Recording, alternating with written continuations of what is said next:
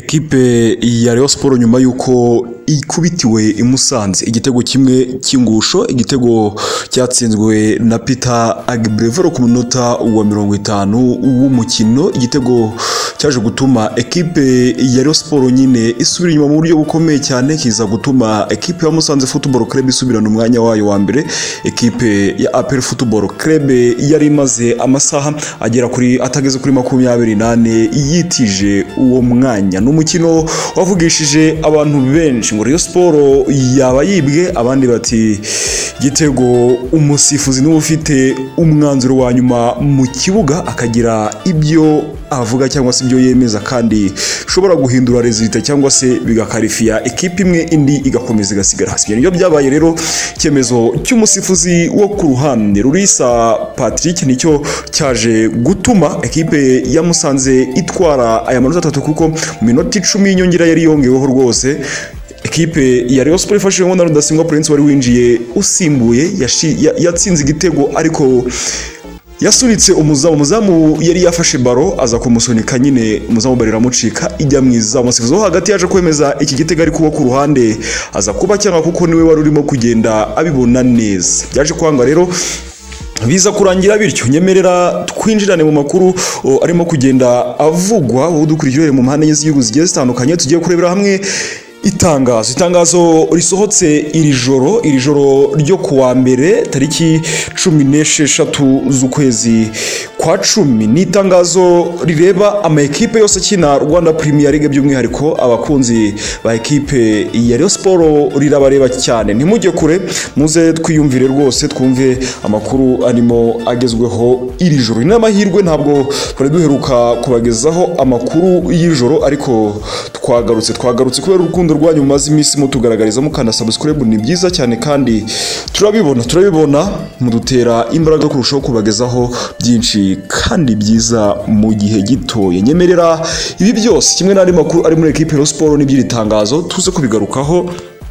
tubirebere hamwe. Ariko nanone ntujye kure. Reka mbanze twikoze muri mu kiba w'iyi ekipe ubwo ni apere futuboro kerebe ruboneka w'iyi ekipe ukina mu kibuga hagati uyu muramuzi cyane yamaze gutangaza icyo politike yo gukinisha abanyamahanga yabafashije nk'abakinnyi bo muri iyi ekipe ya APR Football Club. Yari imaze imyaka igera ku icumi ikinisha abanyarwanda gusa. Umwaka w'imikino na kane yahisemo rero gusubira kuri gahunda yo gukinisha abanyamahanga. Nyuma y'uko rero cyangwa se nyuma yo kubona ko abanyarwanda badatanga umusaruro bifuza abanyamahanga umunani iyi kipe yaguze buri wese abasesengura uko ashaka cyangwa se uko abitekereza cyangwa se uko yababonye mu kibuga cyangwa se bitewe n'uko yaramutse. Gusa hari ababona ko atari bo yari kugura abandi bakabona ko hari icyo abanyarwanda bari muri iyi ekipe bazabigiraho. Nubwo benshi bakomeje kugenda bashidikanya kuri ba rutayizamu Victor Mbawoma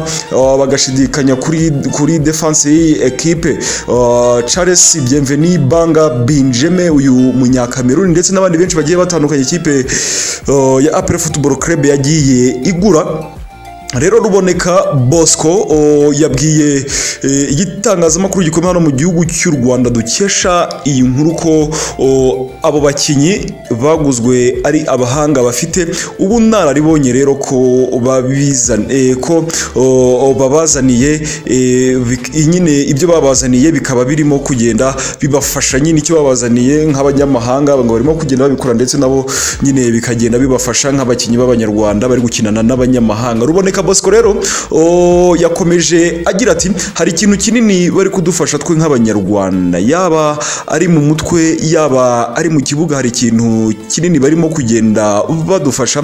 Bagiye ngo bagiye bafite impano zitandukanye.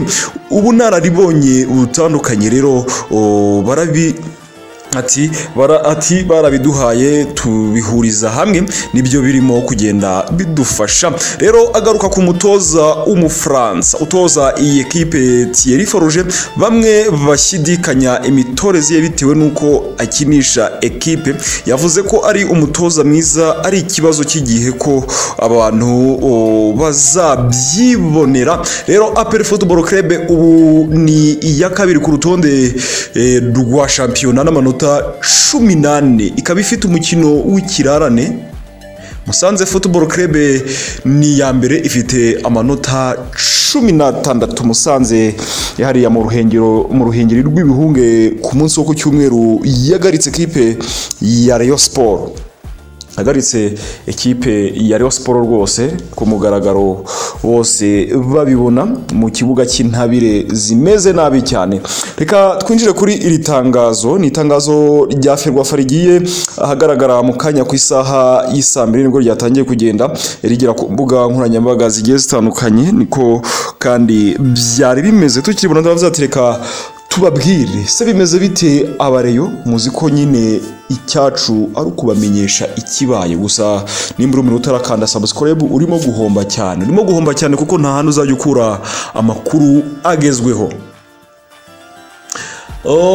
Rero ferwafa bagize gutya bandika ibaruwa. Ireba amakipe yose akina rwanda premier league. Bagize bati ubuyobozi bireba.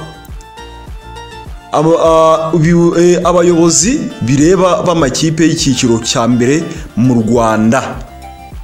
Impamvu impinduka y'umunsi wa munani wa shampiyona ati bayobozi dushingiye ku ngengabihe ya shampiyona y'icyiciro cya mbere mu bagabo primus national league y'umwaka w'imikino bibiri na makumyabiri na gatatu bibiri na makumyabiri na kane. Tubandikiye tugira ngo tubamenyeshe ko imikino imwe n'imwe y'umunsi wa munane ya primus national league bibiri na makumyabiri na gatatu izakinwa mu buryo bukurikira. Amatariki yimuwe byahindutse. Tariki makumyabiri n'imwe z'ukwezi kwa cumi mukura izakira bugesera ku isaha saa cyenda. Marine izakira gasogi united ku muganda. Muhazi izakira musanze ingoma. Tariki makumyabiri n'ebyiri amagaju azakira gorira kuri stade ya huye ku isaha saa cyenda. Etensere izakira apel football club ku muganda ku isaha saa cyenda. Etware de reste yahariye ingoma. Izakira as do kigali hariya ingoma ku isaha y'isaa cyenda. Ni gutyo bimeze. Impamvu rireba abakunzi ba ekipe ya Rayon Sport yuko umukino bafitanye na ekipe. Ni umukino bazakina ku munsi wo kuwa gatandatu. Tubibabwire neza. Nabonye benshi bakomeza kugenda babyitiranya babaza ngo tese umukino wacu nawo waba wimuwe? Ntabwo wimuwe bareyo. Ntabwo wimuwe. Uri ku munsi wo kuwa gatandatu? Nta kintu wahindutseho rwose. Umukino Rayon Sport izakiramo Sunrise. Nanone kandi n'umukino uzaba ku wa gatanu ku isaha isaa kumi n'ebyiri polisi izaba Kiyovu Sport? Na polisi ntacyo wigeze uhindukaho. Ni gutyo bimeze uko umunsi wa munani wa shampiyona uzaba ukurikiranye.